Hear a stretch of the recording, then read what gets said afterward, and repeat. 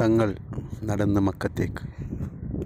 മാഷാല്ല ഇത്രയും ദിവസം തങ്ങൾ നടന്നിട്ടു തങ്ങളുടെ കൂടെ നടക്കാൻ കൂടുതൽ ആരും എത്തിയില്ല.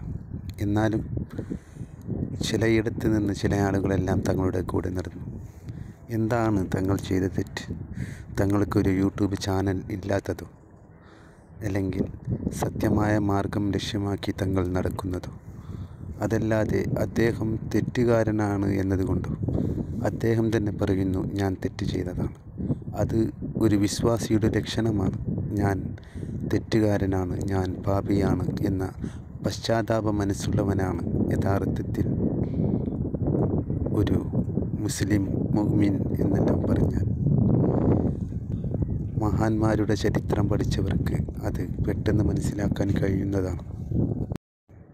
നാൽപ്പത്തിയെട്ട് വയസ്സോളം പ്രായം വരുന്ന ഇദ്ദേഹത്തിന്റെ നടത്തം കണ്ടാൽ അത്ഭുതപ്പെടാത്ത വ്യക്തി തീരെ ചിന്താശക്തി ഇല്ലാത്ത ഒരാളാണെന്ന് പറയേണ്ടി പറയേണ്ടി വരും. അത്രയും ഒരാളെ അത്ഭുതപ്പെടുത്തുന്ന രീതിയിലുള്ള നടത്തമാണ് തങ്ങളുടേത്. തങ്ങളുടെ വേഗത അതിന് തെളിവായി നിൽക്കുന്നു. മാഷാ അദ്ദേഹത്തിന്റെ കാലുകൾക്ക് അള്ളാഹു ബലം നൽകട്ടെ.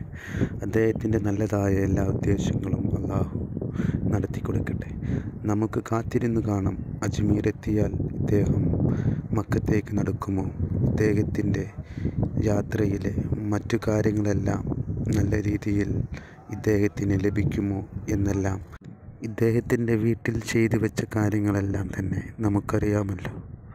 അതെല്ലാം ഇദ്ദേഹം ഇങ്ങനെയൊരു യാത്രയ്ക്ക് പോകാനുള്ള ഉദ്ദേശത്തോടു കൂടി ജനങ്ങളിലേക്ക് എത്തിക്കാൻ വേണ്ടി മുമ്പേ ചെയ്തു വെച്ചതാണോ?